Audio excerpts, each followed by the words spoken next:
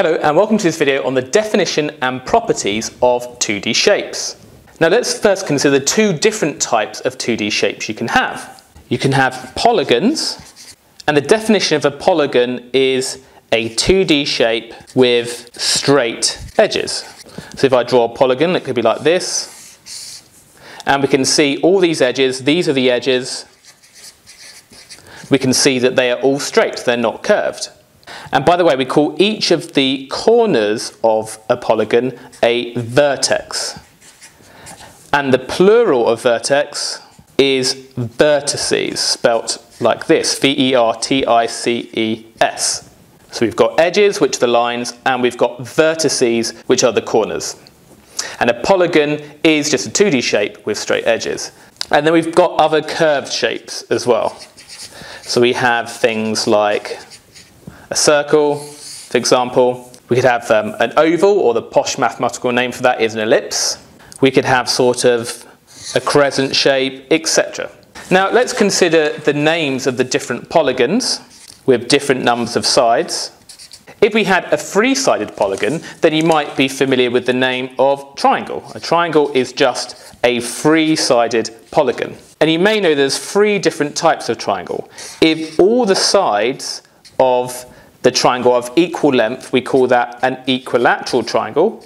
Equi meaning same, or it could be that two of the lengths are the same. And by the way, these little marks here on the edges are saying that these are the same length. So if two of the edges are the same, then it's called isosceles.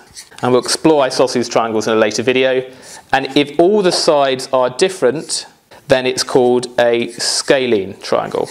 Then we've got four-sided polygons, which are known as quadrilaterals. And we'll explore more about quadrilaterals in a second. Quad meaning four. For example, quad bike is a four-wheeled bike. And then five is a pentagon, which obviously looks something like this.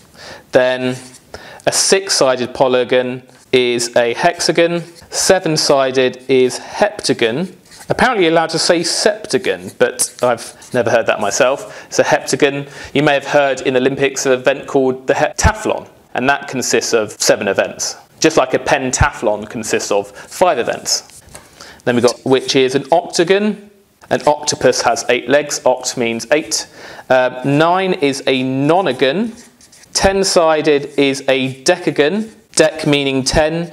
Like, for example, when we say the decimal system, the dec there means 10 because for each digit we can have 10 possible different values. I'm not going to name 11 because no one ever uses that word, but 12-sided is a dodecagon, and then the only other common name is a 20-sided polygon, which is called an icosagon. Icosa meaning 20. But basically, it would be helpful to know all the names of these different polygons up to 10-sided. And of polygons, we have two different types. We've got regular polygons, and we've got irregular polygons. So regular polygons, all angles and side lengths are equal. So for example, if we had a regular triangle, we'd have a triangle where all the side lengths and all the angles are equal, and we'd know that would be called an equilateral triangle. Just like a regular quadrilateral, well, what's a four-sided shape where all the lengths and all the angles are the same? That would have to be a square, wouldn't it? And then irregular, well, if we had a irregular triangle, the lengths and the angles are not all going to be the same. Now let's go on to the properties of different quadrilaterals. We've got the shapes here that you need to know, and we're going to look at the definition of each. Now, what is this shape here? Well, you might recognize that as being a rectangle. But what is the definition of rectangle? You probably recognize it, but you might know what the exact definition is. And the definition is it's a quadrilateral. I'm not going to write it's a quadrilateral which because we're considering the quadrilaterals, but it's a quadrilateral where all the angles are equal and they will all be 90 degrees if they're all equal. So that's the definition of a rectangle. Now let's consider the number of lines of symmetry it has. Now we could find a line of symmetry here that's a line of symmetry because if I was to reflect this bit of the shape onto the other side, we get the same. And we've also got a line of symmetry here. But we don't have that diagonal as a line of symmetry because if I was to draw it up here, if I had these two sides of the rectangle and I reflect it in this line of symmetry, you would actually get something like this, which is actually a kite, not a rectangle, which is a shape we'll see later. So the minimum number of lines of symmetry is 2. It always has two lines of symmetry. Do the diagonals cross at right angles? Now what I mean by the diagonal of a quadrilateral is if I have a 2D shape like this, the diagonals are the lines which connect opposite vertices. So this is known as a diagonal. You can have diagonals of shapes with more sides as well, but it's just basically a line which connects two vertices of the shape that is not an edge. So we're not allowed to connect these two, for example, because that's an edge, not a diagonal. So it goes through the shape. So let's consider the diagonals of a rectangle. If we draw one, this is one diagonal, this is the other diagonal. Now, is that angle between those diagonals a right angle? Well, that angle we can clearly see is more than 90 degrees, and that angle there is less than 90 degrees, so the answer is no. And what's the number of parallel sides? Well, sides are parallel if they're going in the same direction. So we can see that these edges are in the same direction, they're traveling the same direction, they never meet. So we've got one pair of parallel sides here, and we've got one pair of parallel sides here. So it has two pairs of parallel sides. That should really say minimum number of pairs of parallel sides. And what about rotational symmetry? Remember that rotational symmetry is how many times we can rotate the shape and see the same. Well, if we were to spin that upside down, we would see the same rectangle and then we can spin it back to get to the original. So that the original shape counts as one, then we spin it and we see the same shape again. So its rotational symmetry is of order two. Right, what about this? Well, that's obviously a square, but what is the definition of a square? Well, it's basically a special case of rectangle because um, a square certainly satisfies the definition that all the angles are 90. These are all 90 degrees, right angles. But it has an additional restriction that all the sides have to be the same length. So all the angles are 90 degrees and all lengths the same. Now what's the minimum number of lines of symmetry? Let's draw it again. We have that's a line of symmetry, that's a line of symmetry, and this time the diagonals are lines of symmetry. So we have four lines of symmetry. Do the diagonals cross at right angles? Well, that's one diagonal. That's the other diagonal connecting the opposite corners. And well, yes, that is a right angle there. So the answer is yes. What's the minimum number of pairs of parallel sides? Well, we've got a pair of parallel sides going in that direction, and we've got a pair of parallel sides like that, then the same direction. So the answer is two. And what's the order of rotational symmetry? Well, I can take the original shape, I can spin it 90 degrees, we see a square again, spin it 90 degrees again, we see a square again, spin it 90 degrees again, we see a square again. So rotational symmetry is order 4. And in general, when you have a regular polygon, and this is regular because all the angles and the side lengths are the same, the order of rotational symmetry is the same as the number of sides. So it's a four-sided regular polygon, so it has an order of rotational symmetry of 4. What about this shape? Well, we can think of this as a kind of flattened rectangle. It's like someone sat on this rectangle and it's slightly sheared to one side. And we call that a parallelogram. Notice the spelling, it's quite difficult to spell. There's two L's there, but only one L there, and it's parallelogram, not agram. And the definition is that it's a quadrilateral with two pairs of parallel sides. Now what about the minimum number of lines of symmetry? Well, that's not a line of symmetry. That's not a line of symmetry. We don't have any lines of symmetry at all. I say minimum number of lines of symmetry because technically a square, for example, does have two pairs of parallel sides. So a square is technically a parallelogram and a square obviously has four lines of symmetry. So we're, we're looking for the minimum number of lines of symmetry when we don't have one of these kind of special cases of a parallelogram. Do the diagonals cross at right angles?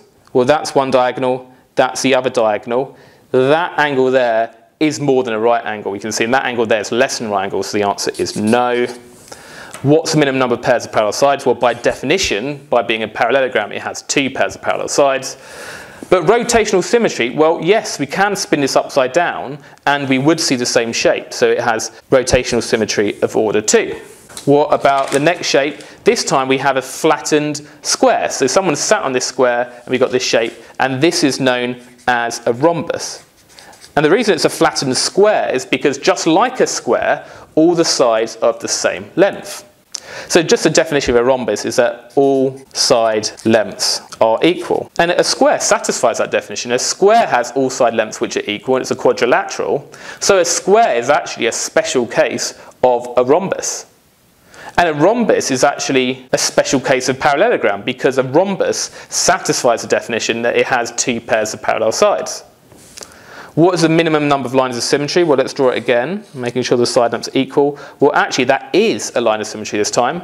That is also a line of symmetry. So the answer is 2. It has two lines of symmetry. Do the diagonals cross at right angles? Well, if we look at this angle here, that is a right angle. So the answer is yes. What's the minimum number of parallel sides? Well, it's 2, just like a parallelogram. And what is the minimum order of rotational symmetry? Well, we could spin it upside down and see the same, so the answer is 2. Now, what's this? This seems to have one pair of parallel sides, and it is known as a trapezium.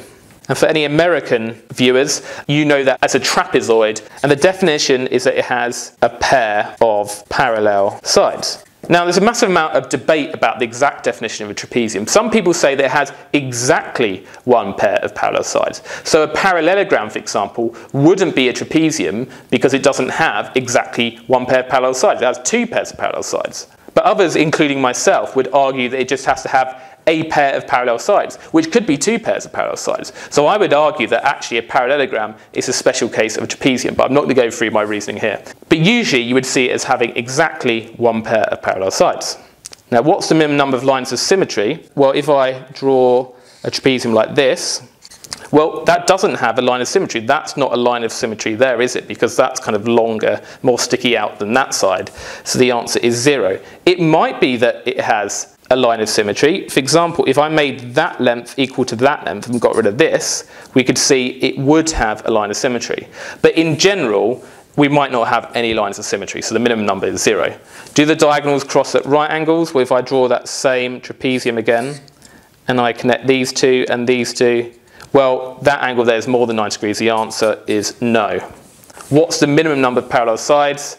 Well, one, by definition of being a trapezium, it has at least one pair of parallel sides, or as some argue, exactly one pair of parallel sides. And the minimum order of rotational symmetry, well, if we take this one, if we rotate it upside down, for example, we're not going to see the same shape. So in fact, it has no rotational symmetry, so its order is one. And what about the last shape? This is known as a kite. It looks like a kite. And the definition of this is quite complicated. Basically, we have two pairs of adjacent sides with equal length. So we can see these two adjacent sides, and by adjacent I mean next to each other, those two adjacent sides have equal length, and those two adjacent sides have equal length. So it has two pairs of adjacent sides with equal length. So a bit squished there. Now, what's the minimum number of lines of symmetry? If I draw it again, we can see that if I cut the kite in half like that, that is a line of symmetry, but this is not a line of symmetry here. So it has at least one line of symmetry. And do the diagonals cross at right angles? Well, this is the other diagonal, and we can see, look, that is a right angle there, so the answer is yes. Now, what's the minimum number of parallel sides? Well, this kite here doesn't have any parallel sides, so the answer is zero.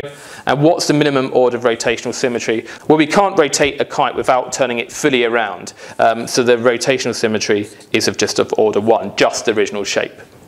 And that is all the quadrilaterals.